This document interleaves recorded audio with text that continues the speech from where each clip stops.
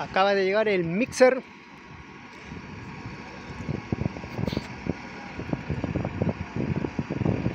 Así que vamos a ver un poco el procedimiento de cómo hacen el vacío de el techo del clubhouse.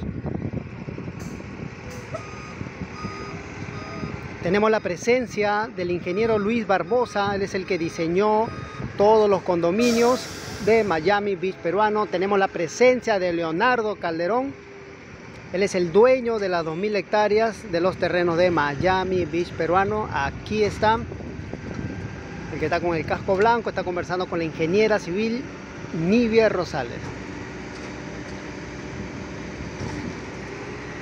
Así que vamos a seguir filmando el procedimiento de cómo están haciendo el vacío para el techo del clubhouse.